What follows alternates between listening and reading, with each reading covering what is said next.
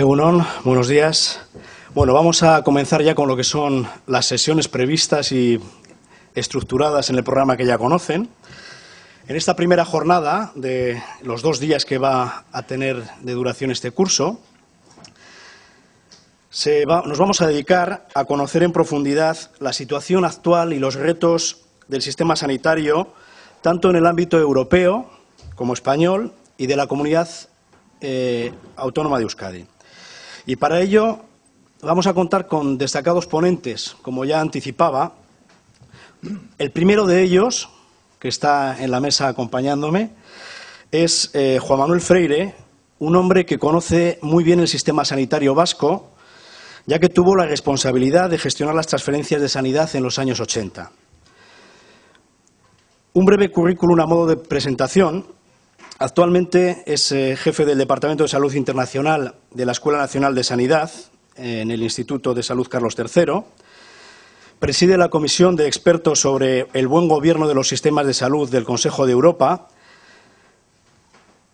Después de su licenciatura en Medicina, se especializó en neumología en el Hospital Universitario 12 de Octubre y posteriormente ha estudiado eh, temas relacionados con la salud pública y la administración sanitaria en las universidades de Londres y de Harvard con becas eh, British Council y Fulbright. Desde 1981 ha mm, ostentado diferentes cargos de responsabilidad. Ha sido director general de atención primaria en la Junta de Andalucía entre el 82 y el 84, consejero de Sanidad en el Gobierno vasco, que, como decía, gestionó las transferencias de la asistencia sanitaria de la Seguridad Social entre el 87 y el 91, y director de la Escuela Nacional de Sanidad entre el 91 y el 94. Ha estado también activamente involucrado en política sanitaria, tanto en España como en la Unión Europea, en el Alto Comité de Salud Pública y también en el ámbito internacional con la OMS y otros organismos internacionales. En la Escuela Nacional de Sanidad dirige actualmente el Máster de Salud Pública Internacional y es profesor de política sanitaria y de sistemas de salud y salud pública. Estas materias las imparte también en distintos cursos de posgrado en varias universidades. Sus publicaciones han estado fundamentalmente centradas en el sistema sanitario español y el análisis comparado de políticas y sistemas de salud. Y entre sus temas de interés está la protección social de la salud, la atención primaria, la salud pública, los sistemas sanitarios comparados y la organización y buen gobierno de los sistemas y servicios de salud. En relación con este último tema, ha sido el relator del comité de expertos creado por el Departamento de Sanidad del Gobierno vasco para proponer un código de buen gobierno para Osakidecha eh, que ha sido recientemente presentado y que contiene propuestas muy interesantes que a lo largo del día de hoy también podremos ir conociendo. Sin más, le cedo la palabra a Juan Manuel Freire agradeciendo su disposición y su colaboración a participar en este curso.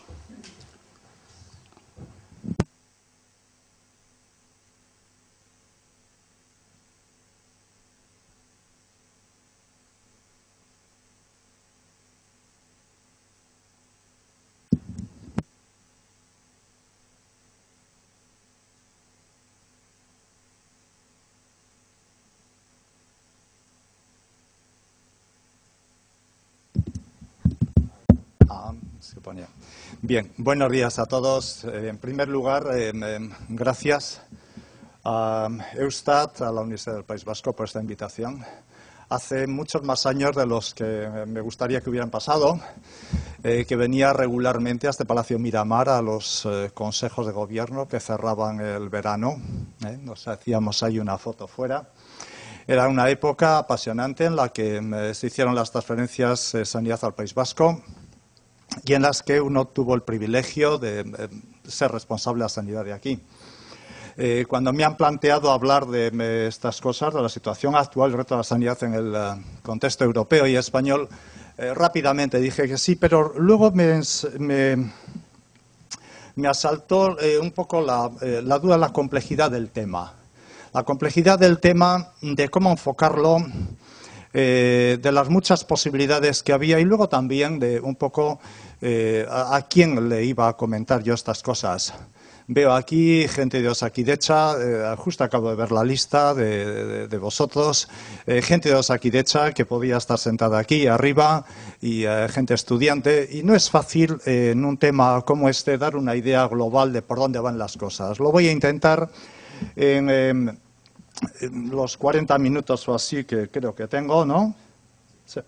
y eh, sobre todo dejando lugar, eh, eh, dejando luego en las transparencias documentación, no todo lo que voy a presentar lo voy a comentar en detalle, y abriendo sobre todo la curiosidad a un campo y a una experiencia que es extraordinariamente compleja y al mismo tiempo extraordinariamente interesante. Para ello he preparado como siete puntos que van un poco de una visión eh, global y mayor eh, a una, cosa más concreta. En primer lugar, eh, tratar de señalar de qué va esto. La sanidad va de salud y no siempre somos muy conscientes de ello. aguas arriba del sistema sanitario, ¿qué hay? ¿Qué importancia tiene? ¿Qué tiene que ver el sistema sanitario con otras partes de la sociedad, de la política pública? Luego, dos cosas sobre la naturaleza de este sector adelantaros que es el más complejo de las sociedades modernas. No hay ningún otro que tenga la complejidad de este sector. Comentaré por qué. Luego, bajar un poco, eh, sencillamente, una panorámica muy rápida del contexto en el que se mueven los servicios de salud en Europa, en la eh, situación de crisis económica que tenemos. Eh, ¿Qué caracteriza hoy a la, sanidad, en Europa? ¿Cuántas Europas sanitarias hay? ¿Y en qué se diferencia? ¿Y dónde ubicamos nuestro sistema sanitario? ¿Y qué rasgos diferentes tiene en relación a otros países? ¿Cómo nos comparamos con ellos? por último, eh, a partir de eso, eh, los grandes temas, de qué se está hablando en la sanidad del mundo, eh, qué, iniciativas andan por ahí. luego, sistema sanitario español y qué propuestas últimamente está habiendo para solucionar algunos de los problemas que tiene y, curiosamente, algunos de los problemas que no tiene. Sabéis que hay gente extraordinariamente aficionada a reparar cosas que no están estropeadas también forma parte de la cosa porque el sector sanitario es eh, extraordinariamente complejo porque eh, involucra muchos actores con intereses extraordinariamente eh, sólidos, extraordinariamente fuertes y además no siempre transparentes. Empiezo por lo primero, salud y sanidad. El objetivo de los servicios de salud es la sanidad, pero, y esto es importante recordarlo una y otra vez, eh, la salud nuestra individual y de, nuestros, países, de nuestros pueblos, no depende fundamentalmente ni mayoritariamente de los servicios de salud. Es fundamentalmente el entorno socioeconómico. Y esto tiene consecuencias eh, importantes que han sido vistas y para los que todavía están estudiando, les recuerdo el, viejo esquema, no tan viejo, pero sobre todo tremendamente actual, de la LOND, eh, la salud, la nuestra, la individual y la de, eh, las poblaciones depende básicamente de cuatro grandes bloques de cosas. De nuestra biología, del entorno que nos rodea, fundamentalmente del socioeconómico. Recordad, la pobreza en todas sus formas y manifestaciones es la mayor causa de enfermedad. Misteriosamente también las desigualdades sociales Recientemente Wilkinson ha publicado un alegato precioso, que estuve dudando si ponerlo o no, cómo la desigualdad impacta en salud. Está en la red, una presentación maravillosa, ha sido traducido el, el libro en español.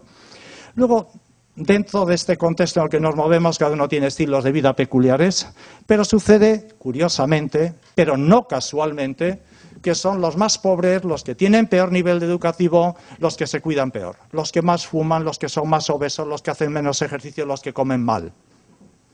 ¿Mm? También hay que tenerlo en cuenta. Y a pesar de todo eso, de, la importancia de todo eso, de lo que hoy nos trae aquí, son, es la última cosa, los servicios de salud. Y es que los servicios de salud consumen tal cantidad de los recursos, son tan vitalmente importantes, que con toda la lógica del mundo, atraen atención, pero justamente eh, por, que atraen atención porque son importantes, porque tienen que ver con salud, vale la pena comentar que la salud no depende únicamente de los servicios al hablar de todo lo que aquí nos trae.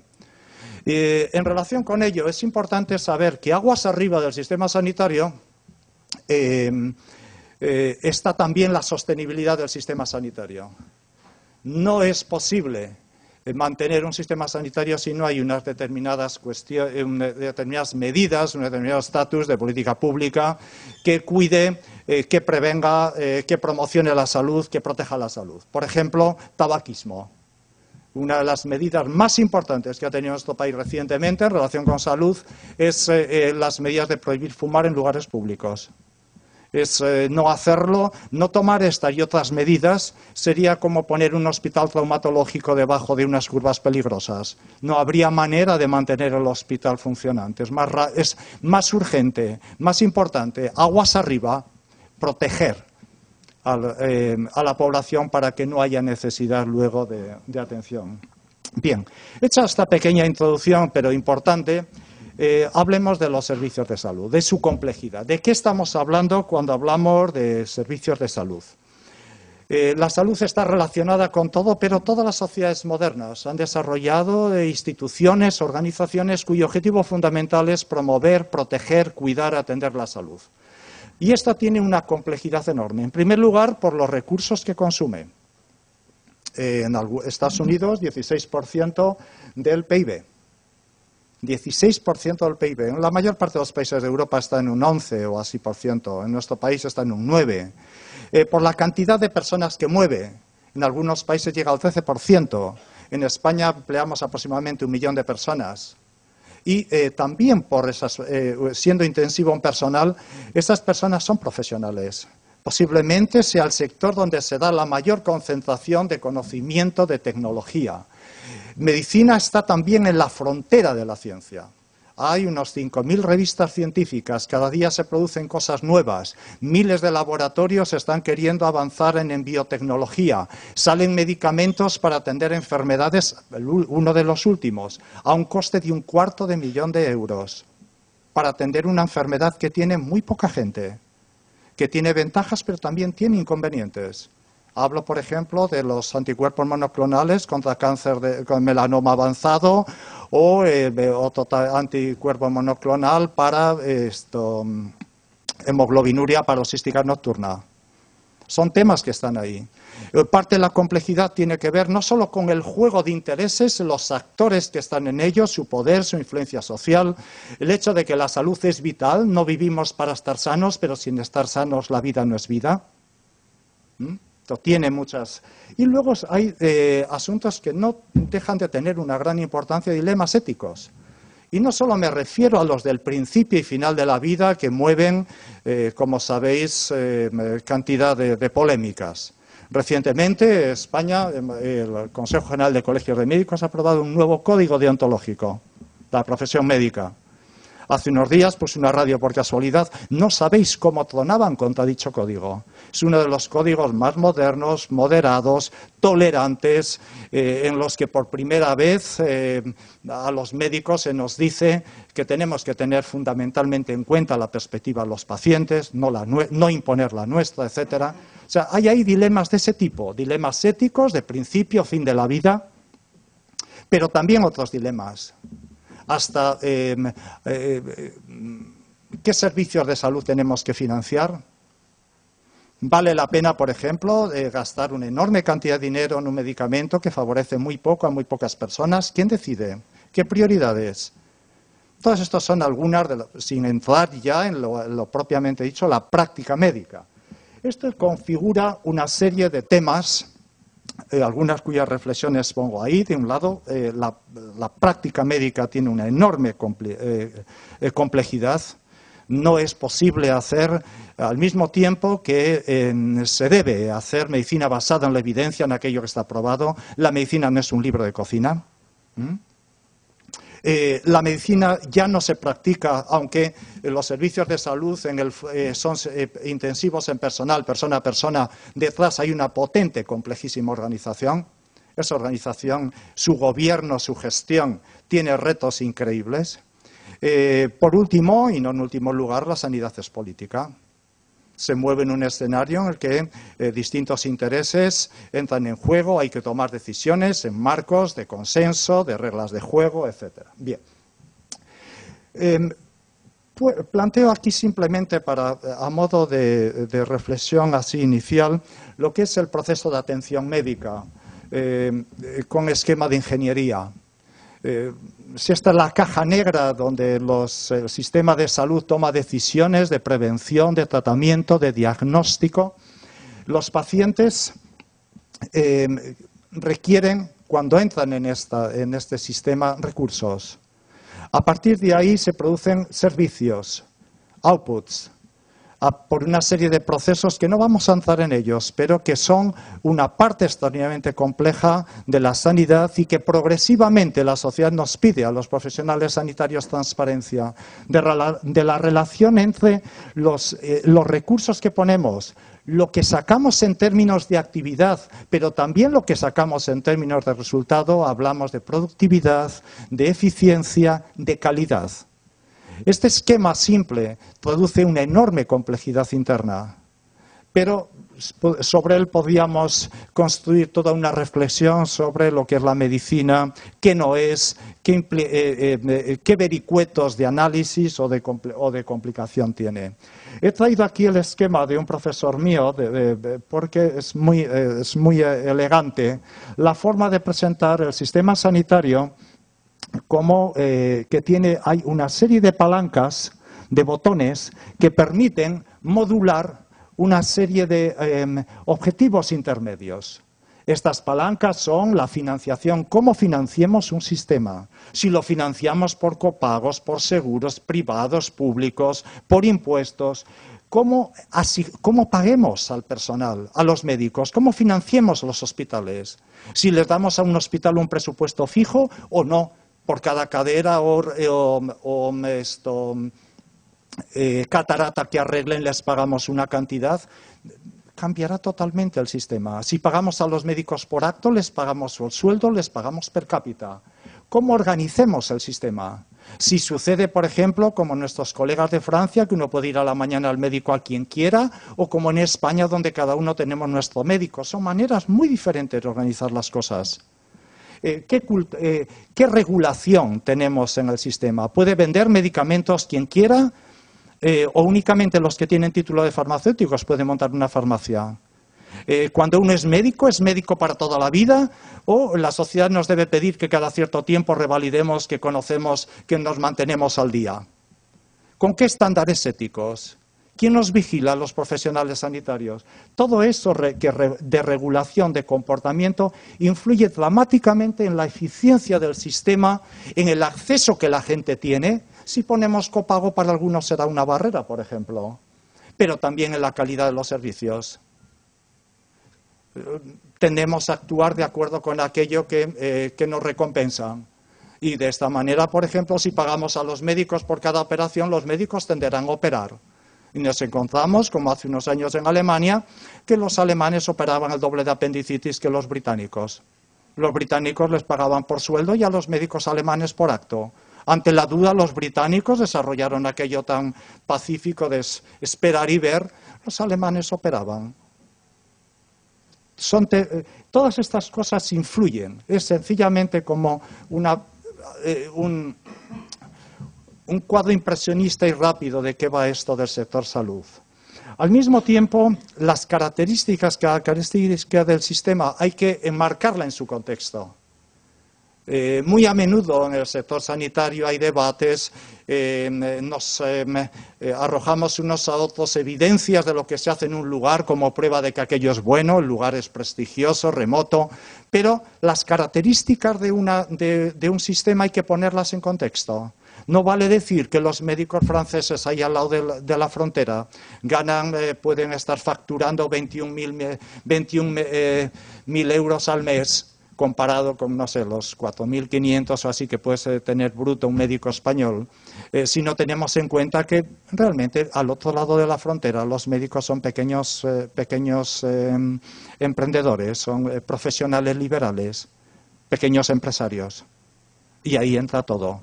O sea, son modos distintos de hacer las cosas. Luego, las características no pueden estar, no pueden estar aisladas. Nosotros llamamos, por ejemplo, eh, a nuestros directores de hospitales les llamamos gerentes, igual que los británicos, pero nuestros gerentes dan cuenta ante el que les nombró.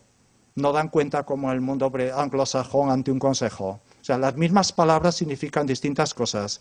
Por lo tanto, hay que, eh, como decía Bertolt Brecht, pesar cada cosa que nos dicen de esto como si fuera moneda falsa y dudar de todo.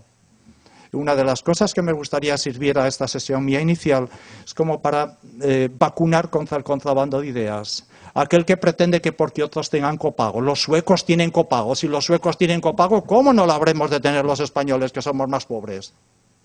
¿Mm? Este tipo, de, este tipo de cuestiones, pero nadie comenta en qué circunstancias se hizo la reforma de las siete coronas, por qué y en qué, de qué historia viene el sistema sanitario sueco y de qué historia viene el nuestro y qué ventajas o inconvenientes tiene una u otra cosa. Esto es lo que yo trataría de.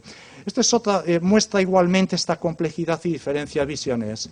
Este diagrama de araña muestra en distintos países de Dinamarca, Suecia, eh, Reino Unido, Estados Unidos. Desde lejos se puede apreciar simplemente la, distribución. Cómo distintos, distintos inputs de los servicios, camas, resonancias magnéticas, número de personal, tiene una distribución distinta eh, pero muy distinta en los países. Esto también vacuna contra otra cosa. Eso que dice que la OMS nos recomienda cuántas camas hay que tener por habitantes, cuántos médicos o cuántas enfermeras. No existe tal cosa.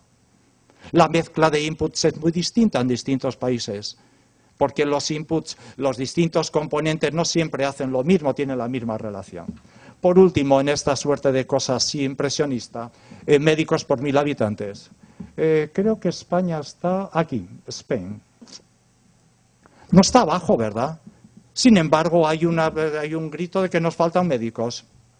¿Cómo es que nos faltan? Esto es también parte de esta complejidad. Ver esta diversidad de inputs, por ejemplo, médicos por mil habitantes, y sin embargo, como algunos países que estamos en la parte alta de número de médicos decimos que nos faltan médicos. ¿Por qué? Puede ser una cosa importante o divertida para el comentario posterior. ¿eh? Vale. Eh, otro tema de esta complejidad es la variación de la práctica médica. Esto es uno de los, de los trabajos más importantes y quizá desapercibidos que se hacen en España. Análisis de la variada práctica médica.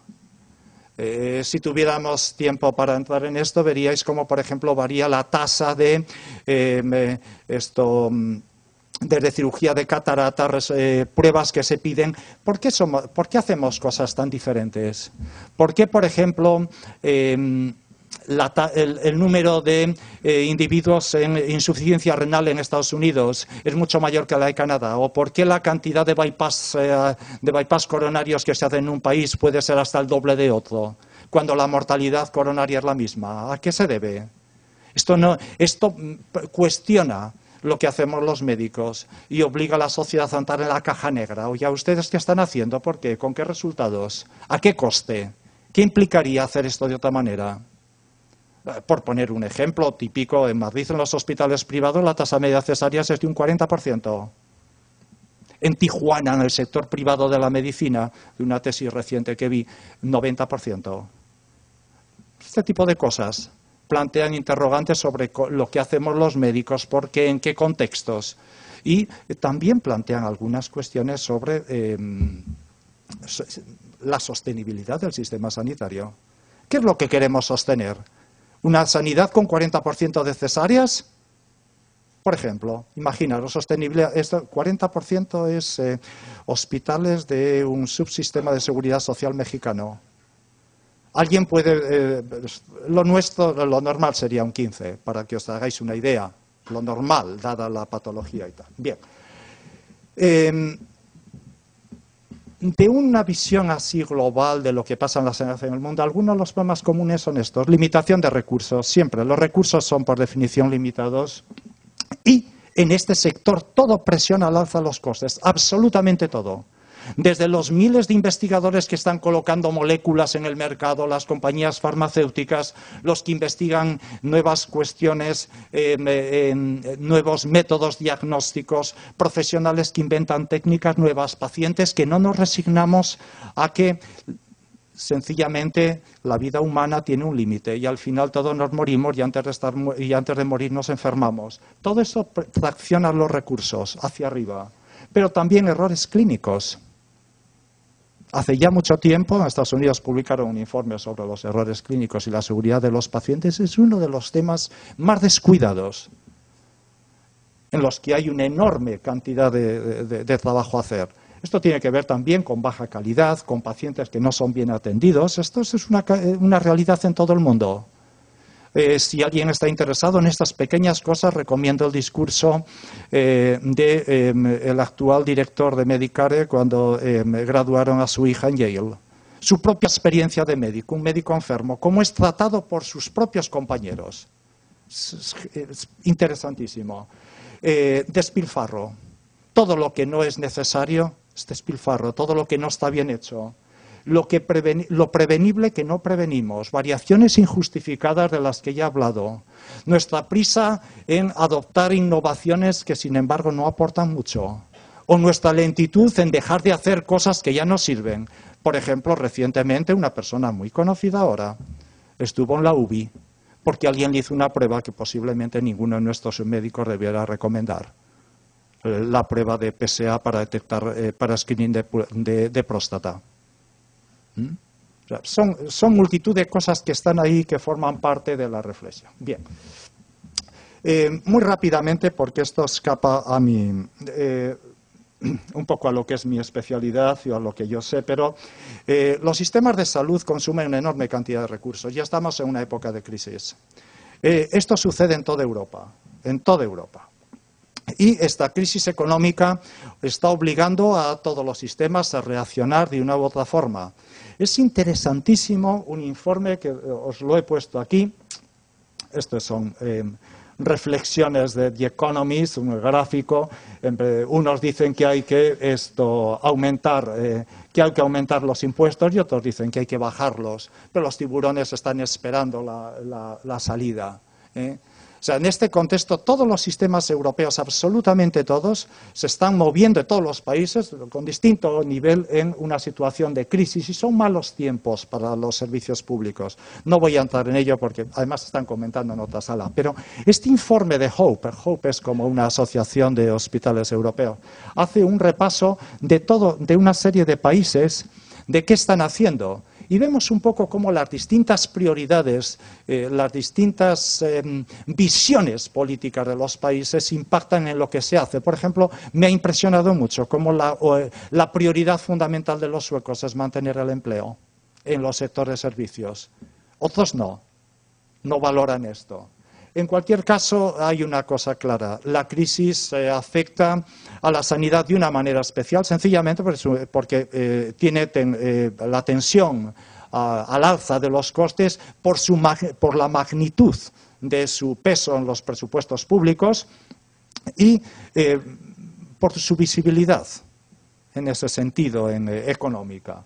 Entonces, aquí estamos en un contexto en el que todos los países ha habido medidas de uno u otro tipo, más o menos radicales. Y como digo, el informe este, que se puede encontrar en Internet, esto mira qué hace, eh, hasta qué punto eh, se han tomado medidas que afectan a la sanidad, sobre todo a los hospitales en distintos países. Paso esto y entramos más en materia. Eh, la Europa sanitaria. Muy a menudo en España hablamos de Europa, de lo que sucede al otro lado de los Pirineos, nos olvidamos de nuestros vecinos portugueses y hablamos como si fuera una única realidad, una realidad eh, uniforme y común. Bien, eh, muchos aspectos, eh, cuando uno vive fuera de Europa, vemos los europeos tenemos muchas cosas en común. Pero en sanidad, fundamentalmente, hay dos sanidades, dos, dos Europas sanitarias. Se he puesto aquí un informe reciente, igualmente localizable y descargable por Internet, que es eh, una visión de Europa, eh, de la sanidad en Europa en el año 2010. Eh, Los datos combinados del Instituto Estadístico de, de, Unión Europea y OCDE. Algunos datos que luego presentaré vienen de aquí. Eh, importante señalar a la hora de ver qué pasa en Europa en sanidad, eh, tener una visión de que realmente hay como, no solamente en sanidad, sino en otros aspectos, dos Europas culturales. No es lo mismo la cultura política, administrativa y económica del mundo continental europeo, paradigma Francia, que la cultura administrativa, política y económica del mundo cultural anglosajón, paradigma Reino Unido. ¿Mm? Son mundos distintos. Nosotros pertenecemos a la cultura, a la cultura administrativa napoleónico-francesa.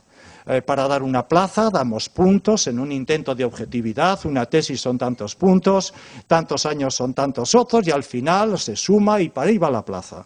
En el mundo anglosajón las cosas son eh, de otra manera.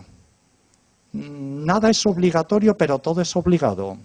No te darán puntos por tener la tesis, pero si alguien piensa que alguien debe tener estudio, habrá eso o un puesto de trabajo. Nadie dice que uno tiene que tener más de 40 años, pero no le darán trabajos a gente. Hay otra, es otra cultura. Al mismo tiempo, su capitalismo es distinto, es más depredador. Es el capitalismo anglosajón versus el capitalismo renano. Allá no tienen derecho administrativo. Eh, funcionan en otra cultura. No diré que mejor o peor, es distinta. Esto es importante porque nosotros venimos de una cultura napoleónica, administrativa, eh, que sin embargo, como luego veremos hablar del sistema español, la tenemos un tanto degradada y estamos, eh, mantenemos restos de esa cultura burocrática administrativa eh, y vamos incorporando algunas cosas de otra cultura, pero a cachos. Importamos, como veíamos antes, una, cosa, pero no el contexto en el que esa cosa se mueve y desempeña. Y uno de los temas importantes es que en un mundo global estas culturas se mezclan y empieza a haber intercambios y, em, de hecho, por ejemplo, ahora Francia tiene una nueva ley que introduce, eh, eh, suprime una exigencia que era clásica para ser director de hospital, ya no va a ser necesario haber hecho eh, la oposición para entrar en la École Nationale de Santé Publique y salir con los galones de director de hospital. Esto es un cambio gigantesco en la cultura francesa. O sea, estamos viviendo una época en la que, al mismo tiempo, que se mantienen estas diferencias culturales que tienen impacto en otras cosas, eh, existe una suerte de hibridación, pero es bueno decirlo.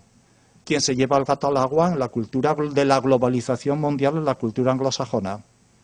De hecho, por ejemplo, esto, mm, Bolonia, el cambio, la gran reforma a la Universidad Europea Continental no es sino eh, meter en parámetros de universidad anglosajona la vieja Universidad Continental Europea. Lo mismo pasa también en algunos aspectos de sanidad. Entonces tenemos dos grandes Europas sanitarias. La Europa cuyo referente sería Alemania, la Europa de la seguridad social clásica cuyo referente es la seguridad social que montó, eh, montó Alemania, la Alemania de Bismarck en 1881. De alguna manera nacionalizaron las cajas de resistencia de los obreros. La clase dirigente alemana era lo suficientemente inteligente como para hacerlo de esa manera. Años más tarde, muchos años más tarde, de hecho hace ahora 63 años, al final de la Segunda Guerra Mundial, los británicos se premiaron a sí mismos con un sistema de salud que eh, deseaban que les cuidara de la, tuna, eh, de, la, de la cuna a la tumba, from the cradle to the grave. Ha sido modelo para el mundo, un referente. De hecho, todos los países del sur de Europa que a finales de los 70 despertamos a la democracia, o experimentaron un eh, impulso de fuerzas progresistas como Italia, cambiaron sus sistemas de seguridad social a este modelo em, em, anglo-nórdico, pero obviamente con las características de estos países. ¿Y qué es lo que diferencia a estos, a estos países? Que muchos de aquí, del País Vasco, estamos muy familiarizados con lo que sucede en Francia. Aquí existe un seguro, es la seguridad social, paga la sanidad, pero la seguridad social alemana o francesa ni emplea médicos ni tiene hospitales. Hay hospitales públicos en Francia, pero no son de la seguridad social. En Alemania hay hospitales públicos, son de las universidades, incluso de algunas ciudades y demás. Entonces, la seguridad social compra servicios para... y los médicos, el 60% de los médicos franceses son privados, son pequeños empresarios. La gente cuando va al médico paga, luego la seguridad social le reembolsa, le reembolsa un tanto. Esta es la medicina que sucede aquí. Es la Esta es la Europa de central. La Europa nórdica, anglo-nórdica, es más parecida a lo que tenemos nosotros. El gobierno financia, el gobierno tiene hospitales, no siempre en los hospitales emplea médicos, pero los médicos de cabecera unas veces son empleados públicos, otras no. En los países del sur de Europa Conocéis el, sistema español. Es muy parecido, a la, muy parecido al portugués. El italiano es parecido al español, solo que los médicos generales, por ejemplo, no son empleados públicos. Son, eh, también pequeños, eh, pequeños eh, son em, profesionales autónomos, liberales. Entonces tenemos dos Europas. Dos Europas sanitarias que obviamente el sistema español tiene muy poco que ver con el sistema francés. Lo vamos a ver luego. Es a la hora de hacer comparaciones, de ver las cosas, de qué funciona o no y cómo funcionan las cosas. Esta es una información clave, por eso me he detenido en ella. Si lo ponemos en esquema, vemos que la sanidad normal eh, podemos distinguir dos grandes, dos grandes eh, barras de coordenadas de lo que es la financiación, el aseguramiento y la provisión. La financiación en Europa es o bien por impuestos o bien por seguridad social. Europa es de la región del mundo donde el sistema público se hace cargo de los servicios de salud. La provisión, los médicos, los hospitales, etcétera, en, hay países ya, eh, donde es provisión propia del financiador, como España. ¿eh? Otros países donde el financiador tiene que ver proveedores ajenos. Y en este mapa podemos colocar los distintos países. Aquí tenemos, por ejemplo, países, sistemas de contratos, Alemania, Francia, Bélgica y Austria. Es financiación de seguridad social, pero esta seguridad social no construye hospitales, no emplea personal sanitario. Eh, compra servicios para lo que llaman en América Latina, una palabra preciosa, derechohabientes. Aquí diríamos beneficiarios. Compra servicios. Luego, España y los países eh, de Iberoamérica y del sur de Europa desarrollaron sistemas de seguridad social tardía. Como eran tardíos, construyeron hospitales, emplearon personal, etc. Aquí está España. Pero únicamente. Luego, en el 97, España pasa a estar aquí. Financia la sanidad por impuestos. Y aquí estamos, países financiados por impuestos que, son, eh, que llamamos sistemas públicos integrados las, eh, eh, mm, las autoridades, la administración tiene hospitales, emplea personal. Dentro de los países por impuestos hay dos países al menos, hay más, pero he puesto dos grandes, cuyos médicos generales no son empleados públicos. Reino Unido e Italia. Y este es un panorama muy gráfico de lo que es la sanidad europea. Lo importante aquí no es tanto si financiamos la sanidad por impuestos o por seguridad social, sino el hecho de estar al lado de allá o al lado de acá de las coordenadas. ¿Qué sucede en el lado de aquí? En este lado, sistemas públicos integrados, la calidad, la eficiencia, la transparencia de los servicios sanitarios públicos no será muy distinta a la calidad y eficiencia general de la administración pública. Pongo un ejemplo alejado, es bueno hablar de países lejanos. El hospital público argentino. Pues el hospital público argentino es muy parecido a lo que es el sector público en Argentina. Igual eh, que en Suecia, el sector público sueco tiene mucho que ver con lo que es el sector público sueco. Las reglas se cumplen, no hay facturas en los cajones, etcétera. ¿Mm? No hay corrupción. Pues, España, estamos a medio camino a medio camino no es, no es correcto decir. Mi impresión personal es que eh, el sector sanitario español es bastante mejor que el resto de todo lo público que tenemos, pero ah, luego comentaremos. Entonces, aparte de eso, aparte de esta visión, cabe otra visión, y es que los estados en la Unión Europea, España, por ejemplo, pero también Suecia, pero también Italia, pero también Reino Unido, ya no son lo que eran ya no son uniformes. Em, y aquí tenemos estados unitarios y estados federales o asimilados. España, a todos los efectos prácticos, vamos a hablar de que es un país federal.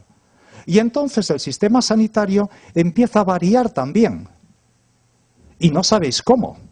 Es interesante, por ejemplo, muchas de las reflexiones que se oyen sobre Gran Bretaña, a alguien se le olvida decir que lo que usted dice nada más que es aplicable a Inglaterra. Inglaterra no es Gran Bretaña como Castilla no es España. de la misma manera. Lo que pasa es que Castilla se ha empobrecido con el tiempo y no tiene el peso demográfico que tiene Inglaterra dentro del Reino Unido. Pero esto es de, una enorme importancia, porque muy a menudo se habla de países. Y claro, Italia, ¿qué Italia hablamos cuando hablamos de Italia? ¿La Italia de Emilia-Romagna o la Italia del sur? ¿La de Lombardía, la Toscana o la de, o la de más abajo? Y de España igual. ¿Qué hablamos, por ejemplo, de país valenciano con un 20% de población metida en un régimen de, eh, ¿cómo se llama?, concesión administrativa, pay sanidad privada? ¿O hablamos de País Vasco y Navarra? Entonces, esto es muy importante. El caso más dramático y donde la diferencia es mayor en lo que yo he podido ver es Reino Unido. Escocia e Inglaterra cada día son como dos países más distintos desde el punto de vista sanitario mientras que Inglaterra se desliza por la vía de eh, la competitividad, la competencia, una palabra clave que es eh, elección por parte del consumidor, choice es el gran, el gran planteamiento, o sea, el dinero sigue al paciente, que lo habéis oído, eh, Escocia ha eliminado el mercado interno, va más en los valores tradicionales de, socialdemócratas. Escocia, por ejemplo, es muy interesante el debate ahora, porque claro, la crisis aprieta a todos, los escoceses no pagan nada por medicamentos, tampoco pagan nada por ir a la universidad y tienen los servicios sociales gratis.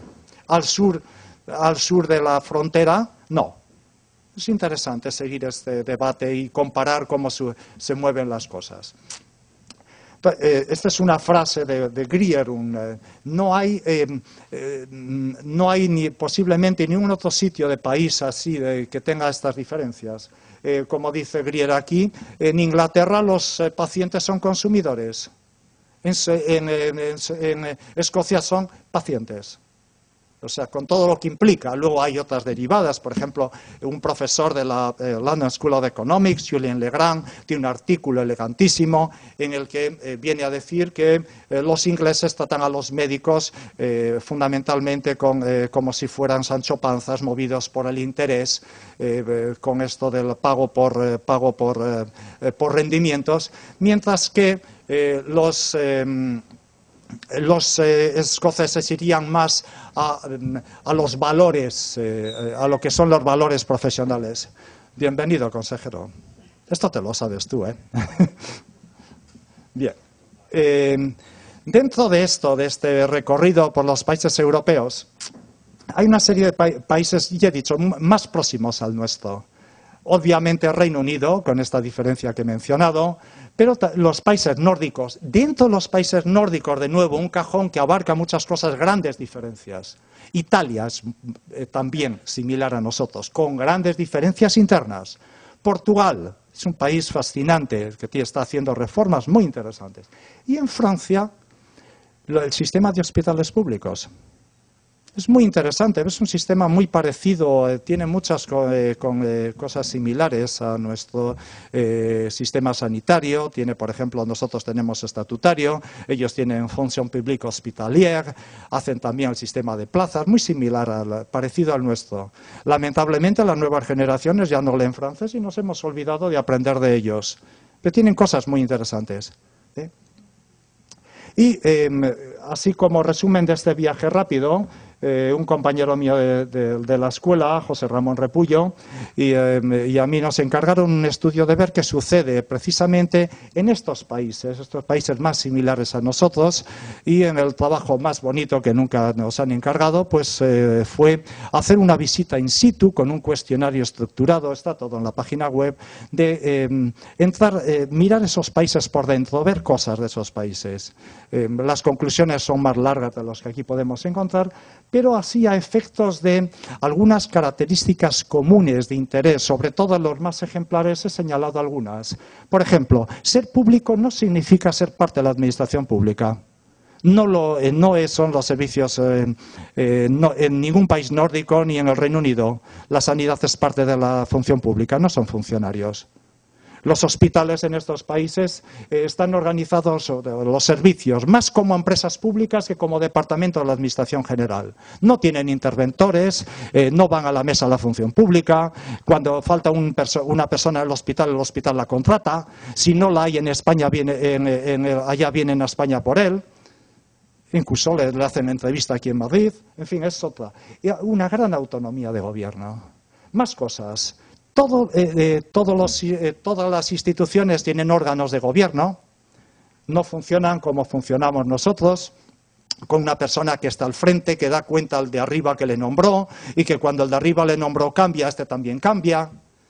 Comentaba el otro día, por ejemplo, en Escocia, cuando hubo elecciones en el 2007, el gobierno laborista perdió, ganaron los nacionalistas escoceses, que ahora ya gobiernan con mayoría, y no cambió el equivalente a lo que sería el director general de Osakidecha. Por supuesto, es impensable que cambie un director de hospital, porque hay, o sea, son parte de estas cosas. La gestión es eh, profesional, no partidaria, pero es que la administración pública está en esas coordenadas también. Y luego existe una eh, cierta cultura democrática en la que se debaten las cosas, los políticos no vienen con su saco de ideas geniales y presentan una, norma, la cosa va primero que hay un libro blanco, ese tipo de cosas. ¿eh? En fin, son algunas de las diferencias que hemos visto. Eh, a la hora de valorar, ¿cómo vamos de tiempo? Justitos, vale.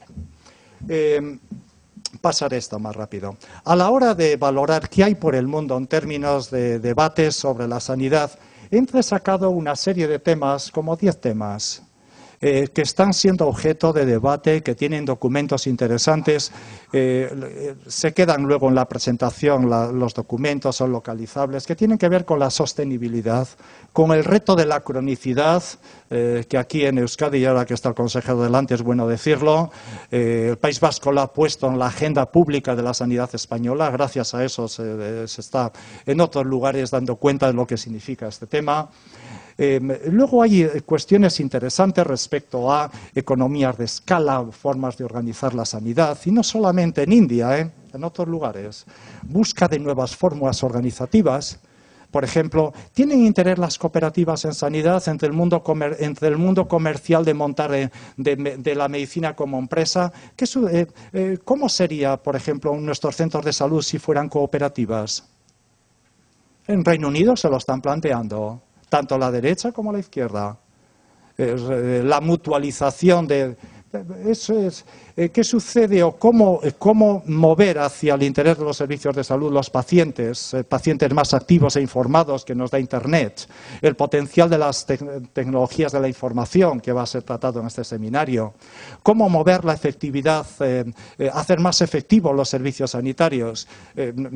Barack Obama, por ejemplo, ha puesto, ha metido como mil millones de euros de dólares en investigar, eh, en mejorar la efectividad de los servicios de salud. Eh, eh, no en último lugar, cómo implicar a los médicos, cómo dinamizar los valores de la profesionalidad cómo, y, y,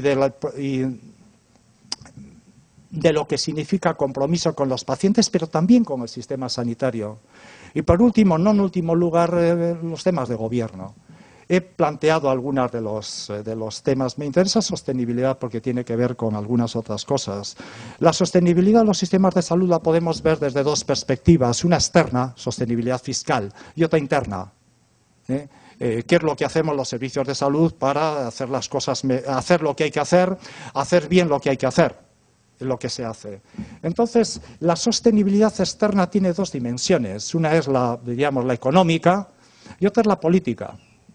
Eh, la económica es nos podemos permitir pagar el sistema eh, y, eh, la y, la política es el apoyo de la gente. Sobre la sostenibilidad, la pregunta correcta no es si el sistema es sostenible, sino qué hacer para hacerlo sostenible porque no hay ninguna alternativa razonable a no tener un sistema público de calidad.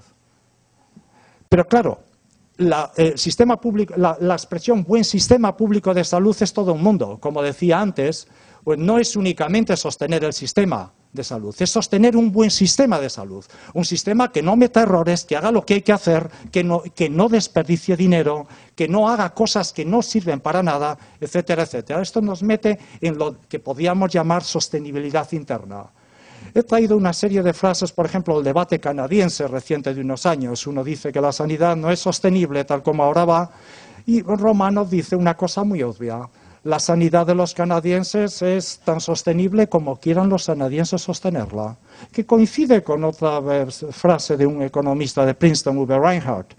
En el fondo, el debate sobre los servicios de salud es un debate no tanto sobre eh, eh, macroeconomía, sino eh, la economía de compartir, la economía de la solidaridad. Y esto es por eso digo que la sostenibilidad fiscal es un argumento político. lo podemos analizar luego en cómo se mueven los gastos sanitarios de los países, que implican o no implican la variabilidad del gasto, etcétera. Sin embargo, la sostenibilidad interna es un reto permanente. ¿Cómo hacer las cosas bien? ¿Cómo eh, mejorar la eficiencia? ¿Cómo hacer lo que hay que hacer? Y esto es a lo que luego, eh, con el reto de la cronicidad, he puesto aquí la estrategia del País Vasco.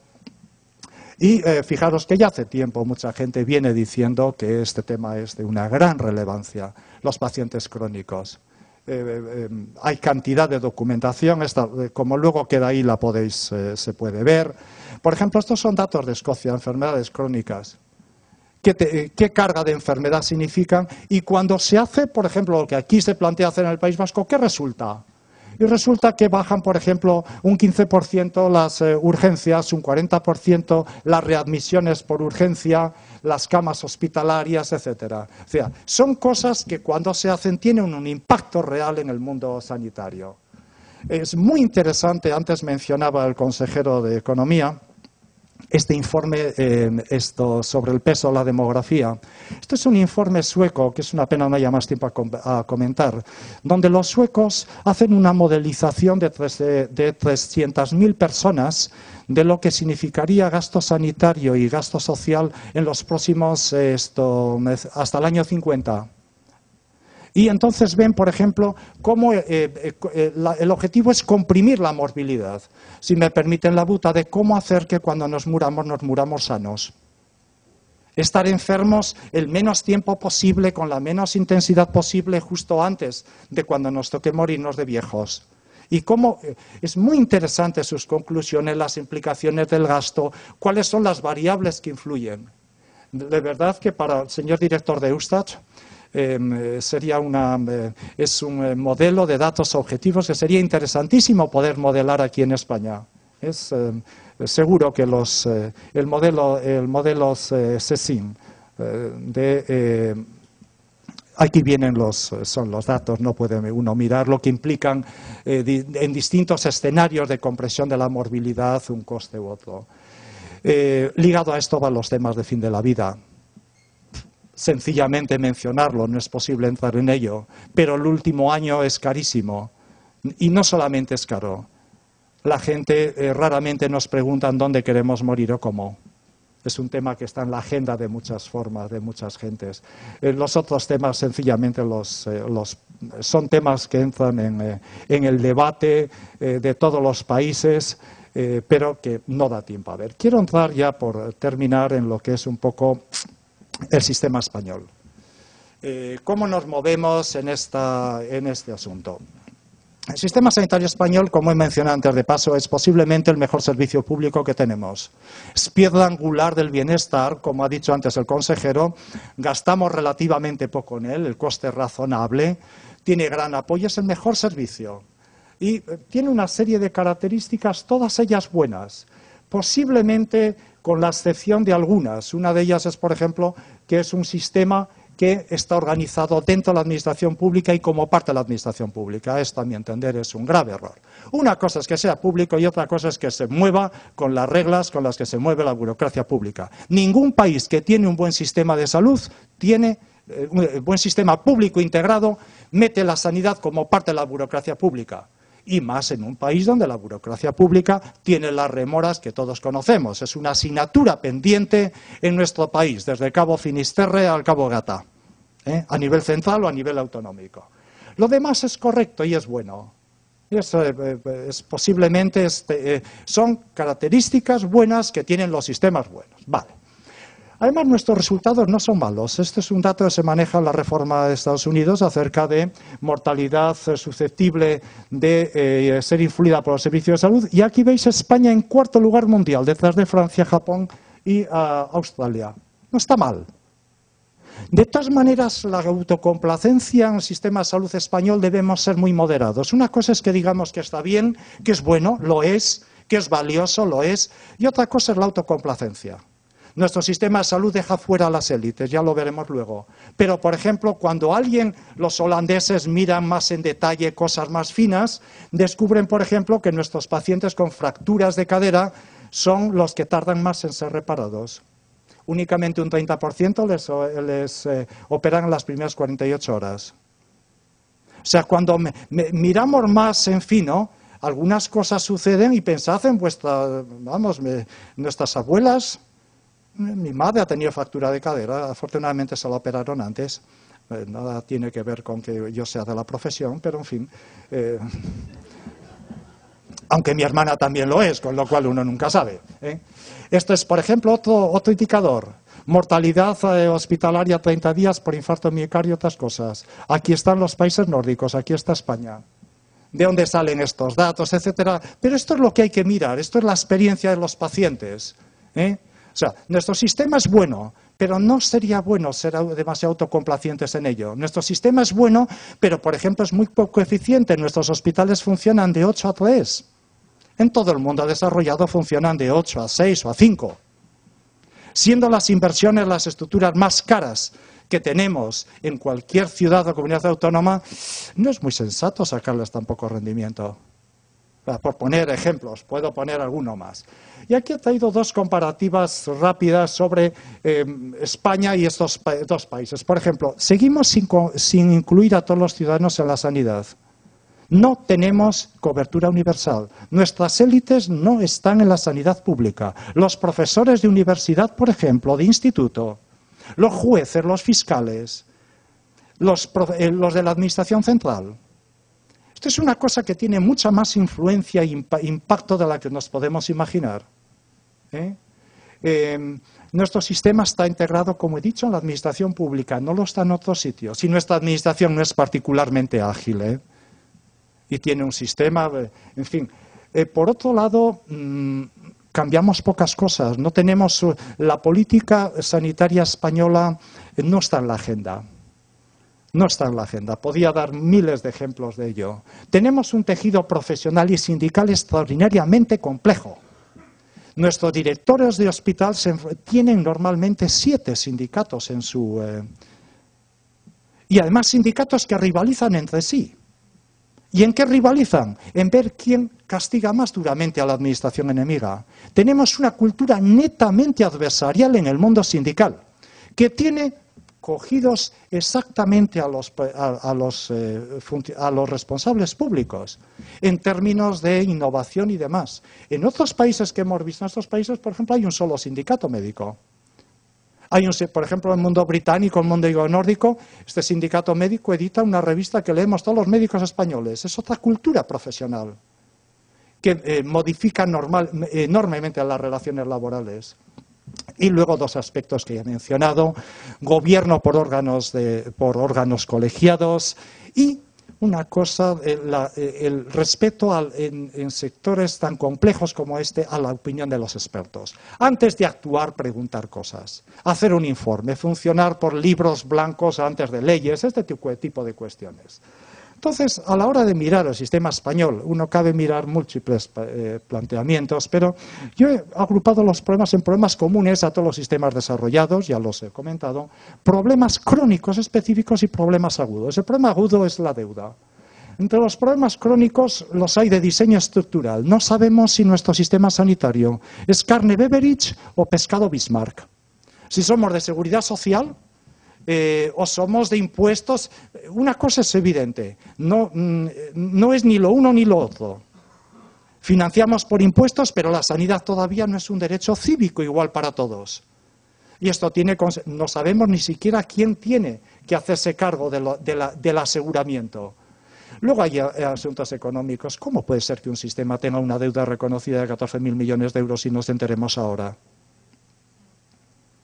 El presupuesto Euskadi es, una, eh, es al margen, posiblemente igual que Navarra, pero en el resto del país el presupuesto sanitario es sencillamente un brindis al sol.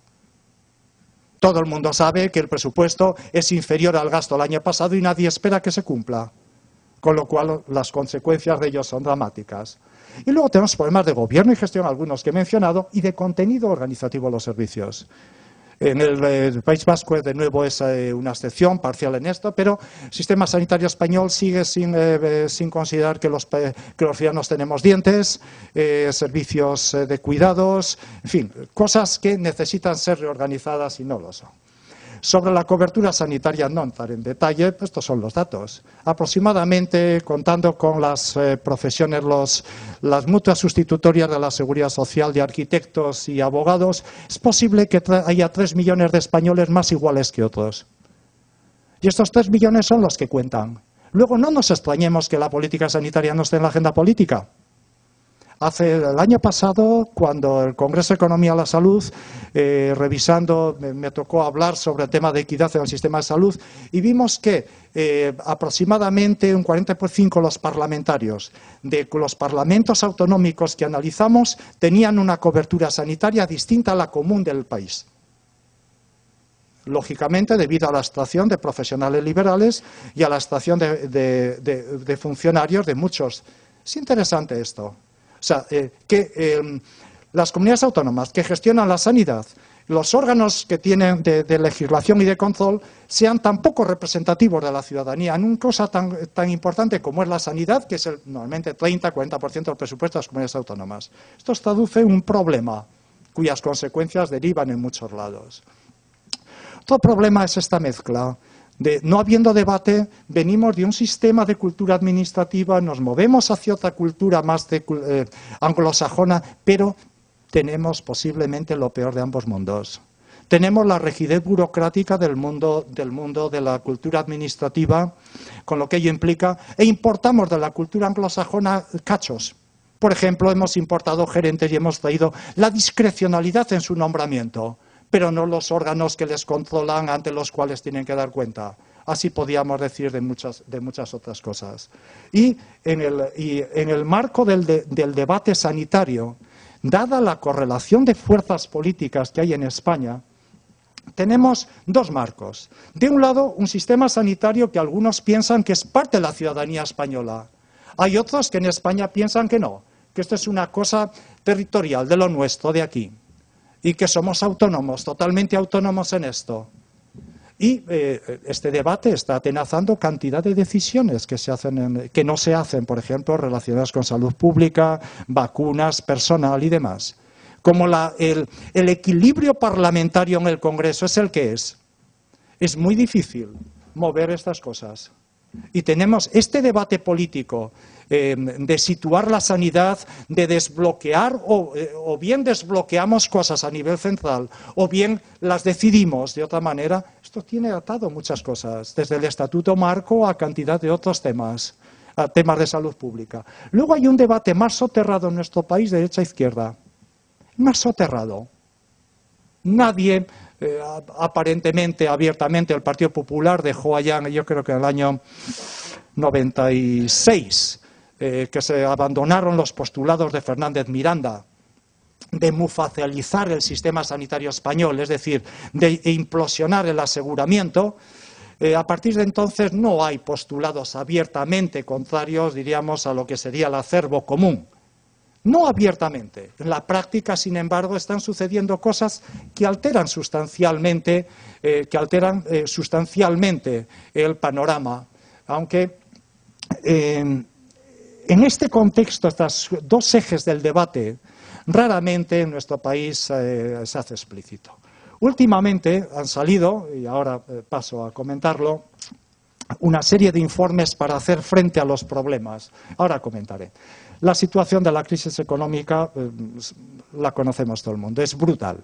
Algunos sistemas de salud han tenido que bajar eh, presupuesto un 10%, un 11%. ¿Cómo salgan de esta? Es algo que eh, no creo que nadie tenga respuesta.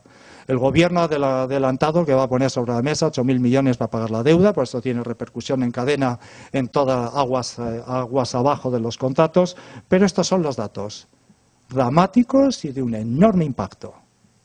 Eh, una de las cosas a tener en cuenta es que después de las transferencias el, eh, gasto sanitario evolucionó de esta manera. Hubo, de alguna manera, barras libres sanitarias, subieron los sueldos, se construyeron hospitales. Por cierto, País Vasco es la única comunidad autónoma, creo recordar, o de las pocas, que en los últimos 20 años no ha hecho un hospital nuevo.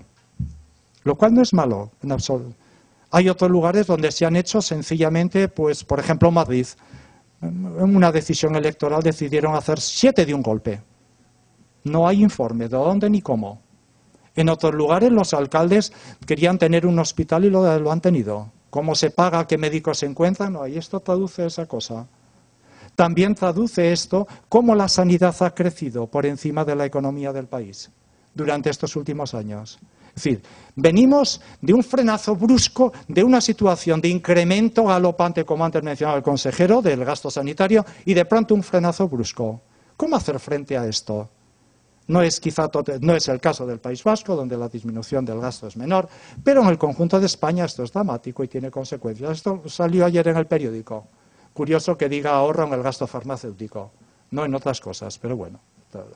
Entonces, la pregunta es, ¿dónde estamos? ¿Qué problema? ¿Tenemos crisis? Bueno, pues, no sé a lo que se puede llamar crisis. Eh, crisis en el sentido de que el modelo de sanidad pública esté en cuestión, personalmente creo que no aunque algunos, eh, luego lo, comentaré, mm, lo tienen más claro. Eh, sin embargo, sí que tenemos problemas. Y el peligro, a mi entender, más importante es recortes drásticos, diríamos, eh, sin mirar a dónde. Sin mirar a dónde. Y el peligro sería no aprovechar esta situación de emergencia para hacer algunas reformas que tenemos que hacer. Esta es, esta es la cuestión. ¿Y qué reformas plantear o qué opciones? Em, en primer lugar, no hay soluciones rápidas. Las rápidas ya las ha puesto el gobierno. Quería ahorrar y a dónde ha ahorrado. Ha quitado eh, sueldos y ha quitado gasto farmacéutico. Ha bajado los precios de los inputs y se ha ahorrado dinero. Punto. Ahora, las otras medidas son de efectos, son las, las estratégicas, pero son efectos a más largo plazo. Y ahí es em, una de las cosas más interesantes de los últimos años es la plétora de informes que hay. Eh, como eh, luego eh, la, presentación queda a disposición de vosotros, le he puesto los informes simplemente para que algunos son más, este, este es más general pero este es, este es publicidad de una, de una, revisión que hicimos en Madrid sobre cómo deberíamos gobernar la sanidad en Madrid si tuviéramos tenido oportunidad. Pero aquí están informes, por ejemplo, esta Fundación Bamberg, de alguna manera plantea, es una de las muchas fundaciones que se mueve el sector sanitario, plantea una suerte de fragmentación del aseguramiento. Muy discreto, muy, muy enfarragoso, pero ahí está. Eh, Bernard Soria, también financiado por Abbott, lanza también una serie de propuestas, no voy a entrar en ellas, pero están ahí, eh, los compañeros de comisiones obreras, a través del observatorio, eh, me ponen también una serie de, propuestas poco concretas. Diríamos lo que es la sabiduría convencional de posiciones de, izquierda pro sanidad, pero, ojo, mm, se cuida muy mucho de decir dónde habría que hacer cambios porque para hacer tortillas hay que romper huevos y eh, es muy malo señalar dónde, cuáles hay que romper. Pricewaterhouse, otra consultora, eh, eh, pone una serie de medidas, algunas de las cuales tienen un enorme interés. Por ejemplo, es curioso que incluya el tema de gobierno. Es por primera vez que aparece. Es curioso, este tema se empieza a colar. Al mismo tiempo, otros, eh, evidentemente, cada uno de estos informes, ninguno de ellos tiene conflicto de intereses, quién, es quién lo financia, qué interés. Pero el lector avispado puede responder rápidamente, ver qué es lo que está detrás. Este es un informe del Consejo, del Consejo Económico Social más reposado, hecho por expertos, diríamos, académicos, algunos de ellos compañeros y amigos. Vale la pena leerlo, pero no tiene propuestas concretas, detalladas, como si tiene, por ejemplo, este informe de Antares. ¿Eh? Eh, que algunas de las cosas que plantea son extraordinariamente importantes y tiene un buen análisis de cosas, un buen análisis. Eh, este es el más reciente, de una consultora de eh, mayo de este año, me acaba de llegar. Es un informe que, por ejemplo, plantea copago, pero plantea algunos temas eh, de interés para distintos planteamientos. Este es el informe del año pasado, de, nuevo de una, consultora, con 15 puntos, que este año ha reducido a 14. Eh, FDA, una consultora del Banco de España, también ha hecho el suyo. Como los dejo luego aquí, por eso no entro en detalles, pero sencillamente, eh, sencillamente apuntarlos por si alguien tiene curiosidad que pueda entrar en ellos o verlos. Este es el de médicos de familia. Médicos de familia, recuerdo, Senfi, que es una organización de médicos de familia que reúne 21 médicos, 21.000 médicos. Es posiblemente uno de, em, de los pilares más sólidos del mundo profesional español. Eh, por último, he querido presentar el de em, tres colegas que son amigos, que ha sido publicado en... Em, antivirus. No, no hay antivirus. Eh, ¿eh? Esto es interesantísimo. Este informe está publicado en Gaceta Sanitaria, es fruto de, una, de un Delphi eh, es interesante a quien le hacen las preguntas, pero mm, eh, lo traigo aquí porque trae alguna cosa que no venía en otros. Es un Delphi, eh, la gente que, se le pregunta es gente informada, es gente... y trae como primera medida controlar la corrupción y la partitocracia. Esto no se había oído antes. Interesante. Interesante. ¿eh? Es interesante porque eh, resuenan eh, luego medidas, reorganización del terciarismo según volumen. Por ejemplo, en Madrid me parece que hay cuatro sitios que hacen trasplante de pulmón.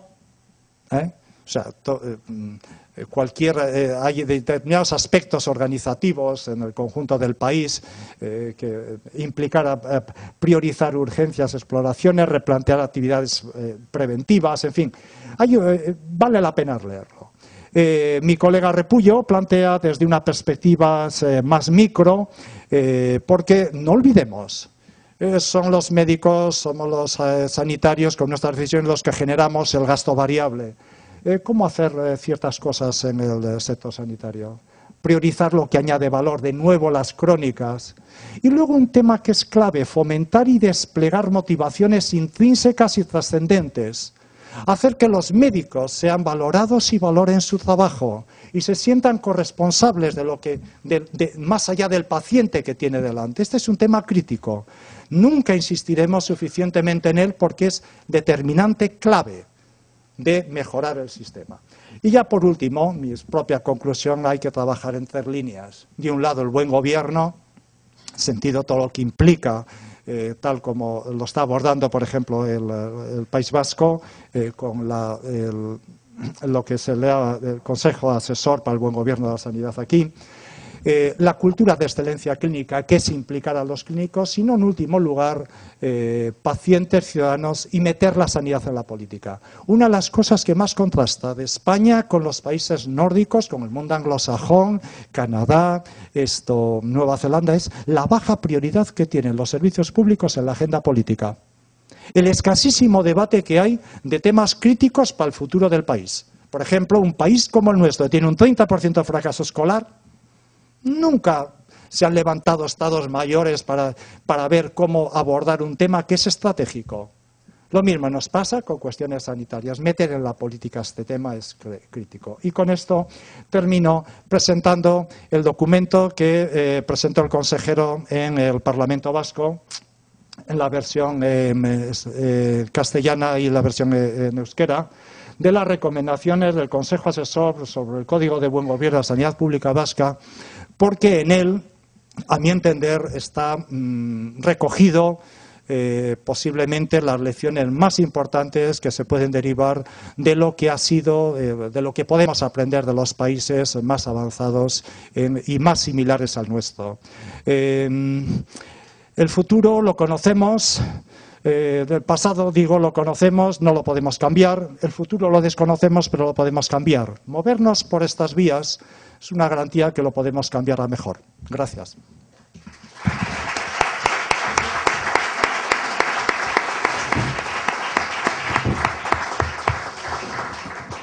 Muchísimas gracias, eh, Juan Manuel, por tu excelente exposición. Nos hemos pasado el tiempo, pero por otro lado me parecía un crimen el, cortar esta eh, interesantísima exposición.